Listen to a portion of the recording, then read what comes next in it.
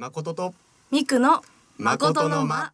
皆様はじめまして。サブカルチャークリエイティブプロデューサーの誠です皆さんこんにちは。佐藤美久です。女優の佐藤美久です。さて1月から始まりました誠の間。この誠の間は現在多くの創作写真集をプロデュースしているサブカルチャークリエイティブプロデューサーの誠さんがサブカルなどのクリエイターの皆さんの発掘そして誠さんが手掛けていらっしゃる現在進行中のプロジェクトなどを紹介していく番組です。それではまずサブカルチャークリエイティブプロデューサー誠さんの略歴をご紹介させていただきます。誠さんは東京都のご出身でライブ撮影や人物撮影を主として写真活動をされていく中でコスプレイヤーや若手クリエイターがさまざまな方面で活躍できるようになるための誠の間プロジェクトを指導ご自身が起業された際に得たマーケティングの知識を生かしながらこれからの、えクリエイターを育成プロデュース作品作りを目指していらっしゃいます。えーそして、えー昨年9月にブルガリアのソフィアで開催された東ヨーロッパ最大のサブカルイベントアニベンチャーコミックコン2019にも参加されました。さて、えそんな誠さんと、え一緒にこの番組「誠の間」を進行してまいります、えー私佐藤美久は、えー普段は女優として、えドラマや映画に出演参加させていただいております特に昨年はですね、えー誠さんのご紹介でもありましたがブルガリア・ソフィアで開催されたイベントで私が主演させていただいた映画「22世紀偶話」が招待され私も本作品の上映前に舞台挨拶をさせていただきました。そしてここ市川うらら FM さんで毎月第2第4金曜日夕方6時から佐藤美久の女優道という番組でもレギュラーパーソナリティとして出演させていただいておりますので誠の間同様にぜひお聞きいただければと思います。えーこんな2人でサブカルチャーを中心としたいろんな情報を満載でお送りしていきたいと思いますのでどうぞ皆様よろしくお願いいたします。しますそれではまず最初のコーナーは誠の間プロジェクトのコーナーこのコーナーはこれからのサブカルチャーを中心としたクリエイターさんの紹介やえ誠さんの今後の写真集美術品展示会などについてえ番組と連動する形でその成立過程をリアルにリポートしていくコーナーです。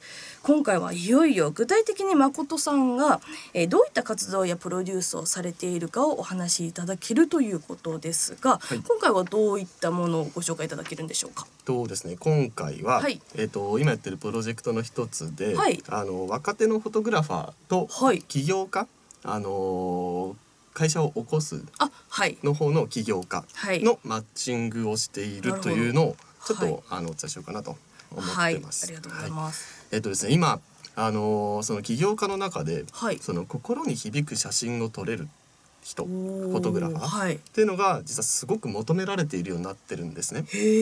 はい。とあの僕はすごくそれをすごく感じるんです。あなるほど、はい。誠さん自身も感じられてそうですね。あの、結構その僕の周りにはその起業家さんが多いんですけれども、はい。皆さんがいい写真撮る人いないかなっていうのを結構相談さ受けるんですよ。へえはい、はい、でそのなんでそういう人たちが求められているようになったかっていうのが、えっ、と僕は大きく分けて3つ理由があると思ってるんです。はい。はい、で1つ目がですね、はい。えっ、と起業家の人たちってはい。基本的にあのーこの人を集めるのにインターネットを使ったりするんです。ああそうですね、はい。確かにそのイメージは強いかなと思います、でそうすると、はい。あのーなんだろうこうタレントさんとかアーティストとかと同様に、はい。その写真っていうののあの重きが多くな大きくなって結構重要になるんですよ。はい。はい、あのー自分のホームページとか、はい。あーなるほど。はい。ツイッターとかフェイスブックとうんうん。うんか、はいうんまあ、インスタを使う人もいるんですけれども、そういうのでこう写真をアップして、はい。それであのーお客さんを集めたり自分の仕事をアピールするっていう方があの、うん。それが結構メインのあの集め方お客さんの集め方になってくるので、うんその写真の質で大きく変わるんですね。そう。ですね、はい。このご時世という感じですなんですよ。けれどもはいあの本当にあのなんだろうこの反応そのクリックスされる率がうん2%から3%に上がったとしたらそれって1.5倍じゃないですか。そうですねはい、はい、それぐらいそのその1.5倍お客さんが来るのが変わるとしたらすごくないですか？確かに。そう、それぐらいその写真の質っていうのが大事になってくるんですね。なるほど、っていうのがそのまずベースになるはい。一つの理由。で二つ目が、はい。あのやっぱり今見る人がの目が超えてる。ああそうですね。本当に今ミクちゃんが、はい。そのこの今の時代ご時世ですね、はい本当にそうですね。ですか、はい。本当に今その SNS とあとカメラの発達によってうんもう世の中この綺麗な写真っていうのがもうありあふれあり余ってるというかありふれてん？なんていうのかな？溢れ返ってる。んそうですね。はい。もう今もカメラよりこうスマホで撮る方が綺麗とかそうそういうふうに言わおっしゃれることもも多いですよね、そうそうそう。でなのでそうすると、はい。その綺麗っていうのは、はい。もう当たり前でさらに心を動かすことができるっていう写真家がすごい貴重な人材になってるんですね。そうですね。美味しそうとか可愛いとか綺麗とうんかそういうことですよね、そうですね、はい。それがもう心に響くっていう,、はい。でですね三つ目はい。がこれはその僕の知り合いのコンサルタントに聞いた話なんですけれども、はい。はい。今広告の写真あのフェイスブックもツイはい。ッターもインスタもはい。広告があるじゃないですか、ありますね。YouTube ですけども、その広告の写真をあのーデータベース化しようしてる、データベースかはそうっいていう動きがあるらしいんですね。あの聞いた話だと、はい。こうインターネット上の広告の、そのクリックをよくされるはい。広告写うん真をこの解析してはい。データベース化して、はい。そうすると誰でもその反応がいいクリックをされやすい画像を作れる写真を撮れる。あーこういうのが今流行ってるとか。そうそうそうそうそうですなるほど。そう。へえはい、でそれ聞いて僕が思ったのが、その誰でも作る作れるっていう風になると、あのーデータベース化されたそのうんうんうん。写真が、はいあの一般的になってくるんですね。それが増えてくる。ですはね、い、でそうすると今度はそれが当たり前になってきちゃうあとー。そのクリックされる確率がまた低くなってしまう。そうですよね。誰でもできるってなるとまた確率が下がってきますよね。そうなんです。だからあのーそのなんだろうこの誰でもその一般あの当たり前になってもなってしまったところからまた飛び入る必要があるんです。はい、また新たな発見をしなければいけないっそうそうそうそうそうです。でその解析っていうふうに今言ってましたけど、その解析するにしても多分解析しやすいものとしにくいものってあるかなと思うんですよ。なるほどはい。で例えば解析しやすいものっていうのが、えっ、と構図とか、うんうん。色味とか、はい。あの明るさとかそういうその写真の構成の部分。はい。あー、うんうん鮮やかであったりとか。そうそうそうそうですそうです。なるほど。はい、で解析しにくい部分っていうのがうん。あのコンセプトとかテーマの部分。あーなるほど、はい。どういったものなのかっていうのが。そうそうそうそうそう。何をどういうふうに撮るか。はい。であのなのでこの解析しにくい部分をしっかり、その解析しにくい部分で心を打つ心を動かすっていうのはい。ができる人が重要になるかなと思ってるんです。はい。難しい、そう。でやっぱりそういうななんていうんですかね。そういうフォトグラファーと、はい。その起業家がはい。今、あんまり出会うチャンスがないんですね。どうすればいいんですかね。うんとまずだから、はい。なんでその出会うチャンスがないかっていうと、はい。それぞれのその活動範囲の中にその、うん。起業家の活動範囲範囲の中にフォトグラファーってあんまり入ってなくて。フォトグラファーはうんフォトグラファーで自分が活動しているその範囲の中に起業家っていうのがあんまり入ってないっていうかその自分が起業家に求められているってことを理解していないんですよ。はいうんなので、はい。そこをきちんとつなげればああ二人とも嬉しい、そうですよね、うん、になるかなと思うなんるです。はい、で、はい。あのー今現在ですね、あ誠さんご自身。はい。そうですね。えっ、とはあのーなんだろうこう知り合いのはい。起業家に、はい。その知り合いのフォトグラファーを紹介していくっていうふうな形でそうですね。はい、はいそういうふうにやってるんですけれどもこういずれはい。あのまあ、自分がこのマクトノマプロジェクトっていうのがその接点になって、はい。そのたくさんツイッターとかで活動しているフォトグラファーとうん。そのあの起業家そうですさんたちね起業家さんたちが自然にこう自然にかこの僕マコトノマプロジェクトを通せばあのいいその写真を撮ってもらえるうんいい仕事をもらえるっていう風な接点になればいいかなと思ってます。なるほど結構こう起業家さんとこはいのフォトグラファーって結構あんまりこうどこをどう通じる部分があるんだろう私もちょっと思ってたんですけれども、うんやっぱ結構やっぱそういう今のご時世がすごい大事なんだなっていうのはとっても。感じました。はい。はい、ではまた次回もぜひぜひ、はいあのよろしくお願いいたします。はいえー以上誠の間プロジェクトのコーナーでした。すごいよアンミさん続いてはすごいよアンミさん誠さんが大好きなシンガーソングライター山田杏美さんの魅力を存分に語っていただき毎月こだわりの楽曲をご紹介いただくコーナーです、えーあらかじめラジオをお聴きの皆様にシンガーソングライターの山田杏美さんについてですね音楽サイトなどを参考に簡単にご紹介させていただきます。現代の銀融詩人の代表と言われるシンガーソングライターの山田杏美さんは8弦ギターを巧みに操りながら美し美しい物語を歌います。中性的かつ少年性のある歌声。フラメンコのような荒々しさ。そして繊細さを兼ね備えたギターの超絶テクニック。それら2つが同時に耳に届きます。えーさて、えーそんな山田杏美さんの中で今月はどんな、えー楽曲についてご紹介いただけますでしょうか？はいはい、誠さんのこだわり含めてお願いいたします。そうですねはい、えっ、と今月は、はいえっ、と羊のアンソニーという楽曲羊のアンソニー。はい、羊です。はい。はい。あのーこの楽曲はですね、はい。えーうんと眠れない夜にこう一人で過ごしながらはい。この好きな人相手に対するこう、はい愛情っていうのがどんどん膨らんでいくっていう歌なんですよ。はい。はい。で、あのー結構面白いなと思ったのが、はい。と捉え方によっては、あの仲の良い友達に対する片思いの歌にも捉えられるし、ああの付き合っていて、ーはい。えっとまあ付き合いたてかなぐらいの恋人への思い、あー。どんどんこの膨らんでいく思いを歌にしたっていうふうにも受け取れるうし、ん。あとはこう振られちゃったんだけど自分がまだ愛しているよっていう状態。あー。ちょっと未練がある感じの。そうそうそうそう。ですね、にも受け取れるんですね。だからそのあのもうこう自分がの相手に対する愛情っていうところがこうメインにこうボーンってあって、うんうん。そこまあいろんな場面があるかなっていう受け取り方あるかなっていうこういろんなこう捉え方ができるってことですね。そうですね。はい。ですごく象徴的っていうか、はいあの山田杏美さんの曲、はい歌で結構こう現れるっていうかあの僕が好きなところなんですけれども、はいあの例えばここの歌だとね、はい。えっ、と最初の歌詞に、はい眠れうんごめんなさい眠れない夜ははい一人ぼっちでと始まるんですよ。はい。なんですけどもここで一人ぼっちっていうですね一人じゃなくって。なるほど。はい。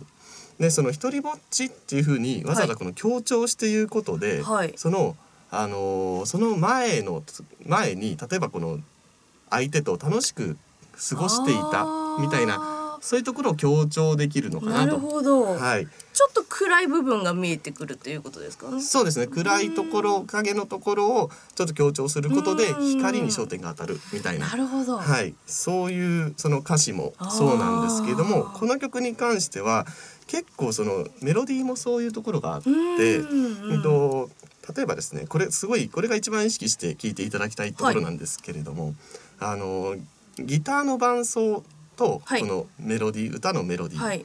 が、あのずっとこのリンクしないんですね。うん要はギターの伴奏がはい。曲を通して結構緩やかなんです。確かにそうですね。はいはい。あのサビになってもそんなに盛り上がらない、うんうんうんうん、うん。割とサビになってもこの穏やかな感じの伴奏で進むんですねうん。その一方その歌のメロディーの関しては最初はこの低い感じで始まるんだけどサビの部分でわーっとこうあのキーも高くなるしうん。テンポも上がるしうん。盛り上がっていくんです。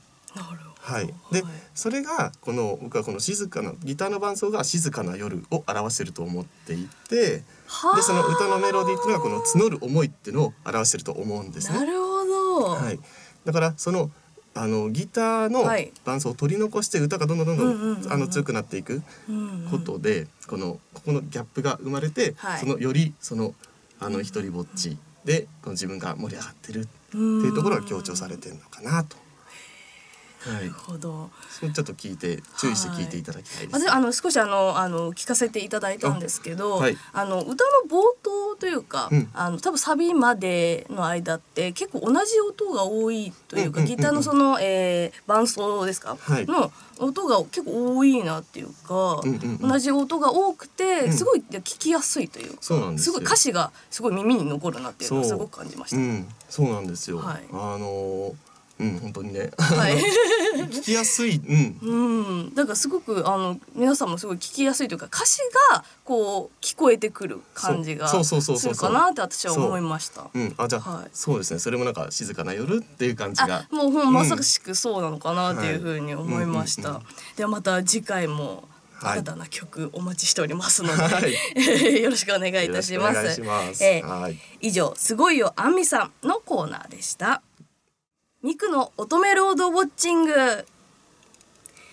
このコーナーは昨年まで放送しておりました北野しおりのリアルドライのコーナー「乙女ロード NOW」を、え引き継ぐ形で、サブカルチャー特に腐女子を中心とした、えアニメオタクの聖地と呼ばれ呼ばれる、えー東京池袋乙女ロードの毎月のトレンド動向などについて、えー潜入しその様子や、えー変遷について私の独断と偏見リポートしていくというコーナーです、えーちなみに乙女ロードとは、えー東京池袋サンシャイン60の、えー西側の通り一帯にある、えーアニメなどサブカルグッズなどを販売しているお店が立ち並んでいる通りを総称して、えー乙女ロードというようですえーそんな乙女ロードの先月の、えー動向をですねお話しさせていただきます。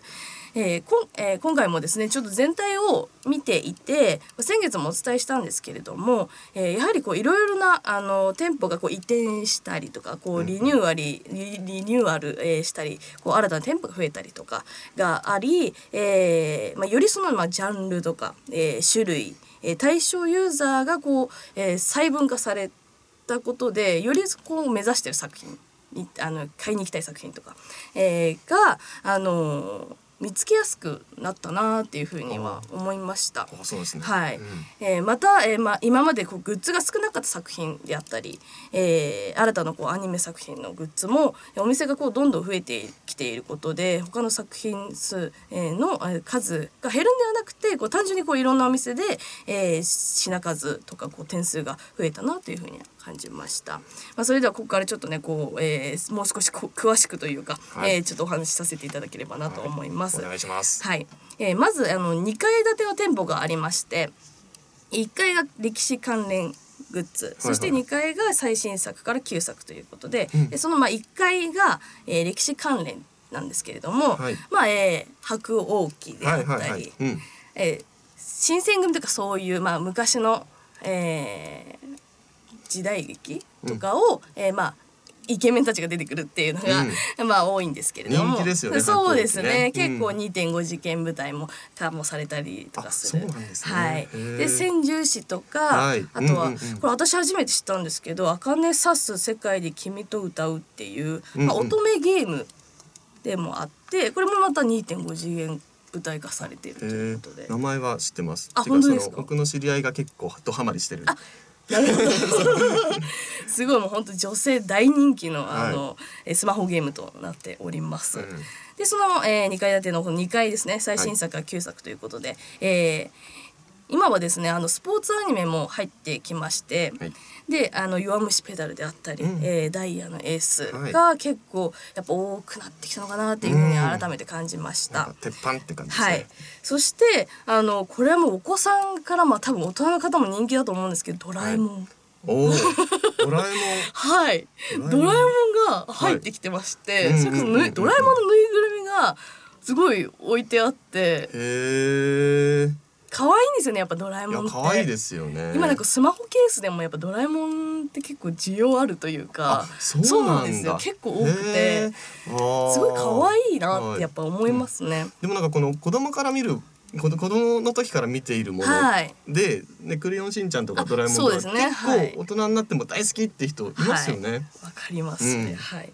でそしてあと「うちたま」っていうあのアニメがありましてあの多分皆さん知ってるなああ検索した。あこれねっていうのを多分知ってるかと思うんですけど、猫ちゃんがたくさん出てくるうん。アニメなんですけど、まあ、象徴される猫ちゃんだと、えっと、白と黒。黒縁の、まあ、猫ちゃんが出てくる、耳が黄色でうんっていう猫ちゃんが出てくるんですけど、はい。まあ、それが、まあ、今年の1月に、えうん。ぎえっ、とぎえー、とアニメ化もされて、はい。えーなのでまた新たに昔の昔流行ってたアニメがまたさらに今年もやっているということで、擬人化そうですね。あ擬人化されて、はいはいはいはい。そうなんですよ。うん。なのでまたそれも今の層を狙っているというか。そうですよね。擬人化ねすごい。こうイケメンたちがたくさん出てくるんですけど。いやちょっと見たいですねそれ。はい。うん見たい。ぜひそちらも注目いただければと思います、そしてあと忍たま乱太郎はもう本当に昔からそうですね。こちらもそうですね、こちらも2.5次元でもすごい人気の作品にもなってますので、はい。これもすごい増えてたなという印象でした、うん。そして、えー違う店舗になってくるんですけれども、次はファンタジー作品の、えー店舗なんですけれども、はい。ここでは、えっとヘタリアとあか、ーはい。ヘタリアすごい増えてましたね。い。やー大好きですよ。はい、うん。ヘタリアってあのいろんな国のこれこそ擬人化なんですけど、んうんうん いろんな国の擬擬人化されたキャラクターがたくさん出てくるっていうやつなんですけど、可愛らしい感じですよね。いやーいいですね。そしてあと黒い私が好きな黒い羊。や僕も大好きです。あ、ありがとうございます。そしてえっ、と結構女性人気かなと思うんですけど、ローゼンメイデンとか、うんうん。男性も結構好きな方いらっしゃいますそうですね。男女問わずっていう男女問わず。はい。うんそして次がですね、これは私も初めて知ったんですが、えはい。赤十三区、えー、観察家っていう。はい。あ名前は知ってまあ本す当ですか。はい。なんかあの私調べた中だとあの結構バナナフィッシュっぽい絵のタッチっていう感じとうんうん。いうか、ちょっとビール要素入ってるのかなっていう感じもしました。うんそうなんかちょっと女性向けなのかなそうですっていう感じねはうん。い、なのでぜひ検索してみてください。で結構ここもあの一つ作一作品ずつ結構多くなってたかなというふうに思います、そして続きまして、えーこの、えー、とファンタジー作品の、えー店舗の1階、えー地下1階に、えー、と新しく少女漫画作品の店舗が、うん。えーできまして、えーそこはですねあの仲良しとかはい。皆さん子供の時買ったかと思うんですけれどもい。仲良しとか、あとカードキャプターさくらうん。とセーラームーンこの2つはですねもう半々ぐらいで占めてましたグッズを。すごい。でなぜか少女漫画なんですけどあの、うん。バナナフィッシュが入ってるとか、はい。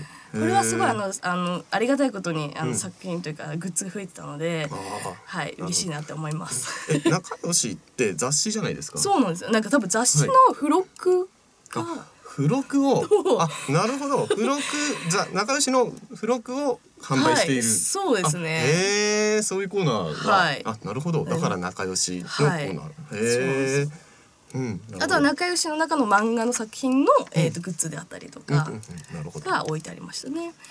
で最後に、えーまあ、BL 作品店舗は、はい。えーまあ、ドラマそして映画化もされましたけれども「えー、おっさんずラブ」はすごい増えましたね。はい。ねとても増えてたかなというふうに思います。そして、えー世界一初恋も増えていてこれ今、あのー全国劇場で、えー新作アニメがですね、えーと上映されてるんですけど「プロポーズ編」というところで、うん。えーまあのー入場者特典が私が行った時1週目の入手入場者特典がもうすでに入っていたので、はい。早いなっていう感じました。すごい、はい、うん。